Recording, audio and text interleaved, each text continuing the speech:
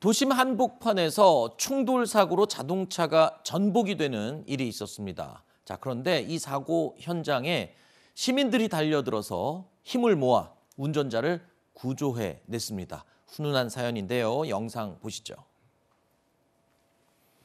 자, 직진 신호를 받은 차량들이 일제히 교차로로 진입합니다. 교차로를 한 차가 빠져나가려던 순간 왼쪽에서 신호 위반한 검은색 승용차가 그대로 이 은색 승용차를 들이받습니다.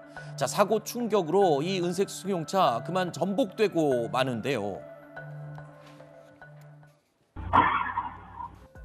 뻥 하고 소리가 나더라고요. 그래서 깜짝 놀랐지. 그래가 와다 보니까 사람은 안에 있는데 차가 지배져가지고. 자, 그런데 사고 직후에 이 사고를 목격한 시민들이 너도 나도 하나둘씩 모여듭니다. 운전자를 구하기 위해서인데요. 다 같이 힘을 모아서 전복돼 있는 차량을 영차 영차 뒤집어서 바로 세웁니다. 그리고 안전하게 운전자를 구조해냈습니다. 저 운전자를 안전하게 구조해낼 때까지 걸린 시간 불과 3분밖에 걸리지 않았습니다. 자, 시민들의 놀라운 이 봉사 정신 그리고 이 멋진 모습. 자, 운전자를 구해낸 시민들은요, 인근 지하철 공사장에서 일을 하던 작업자들도 있었고요. 그냥 이 옆을 지나가던 그냥 시민들도 있었습니다. 뭐 급한 상황 같으면은 뭐 달라 들어서 해야 되겠죠. 이제 워낙에 그 여- 어, 운전자분이 거꾸로 매달려 있기 때문에 이제 안 되겠다 싶어서 세운 거죠.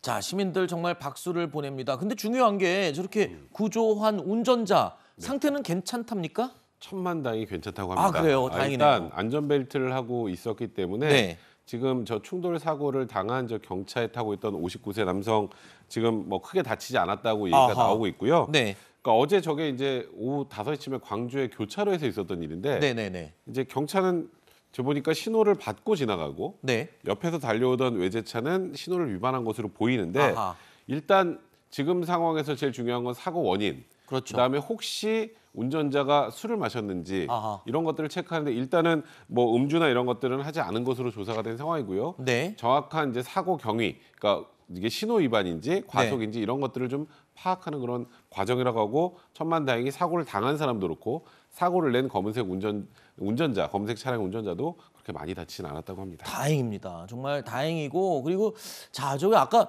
공사장에서 일을 하시던 분들 또 이 옆을 지나가던 행인들 너나 할 것 없이 사고 현장으로 뛰어들어서 영차 영차 차를 뒤집어서 구조해낸 모습 정말 영웅이 따로 없죠. 여러분들이 영웅입니다.